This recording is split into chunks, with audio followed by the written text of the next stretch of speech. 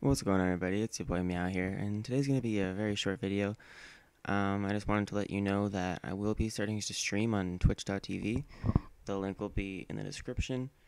And I won't be streaming right away after this. I upload this. I have to do some summer shit, some schoolwork and stuff. But um, I will be streaming later today, so if you definitely want to check that out, go. The link will be in the description for that.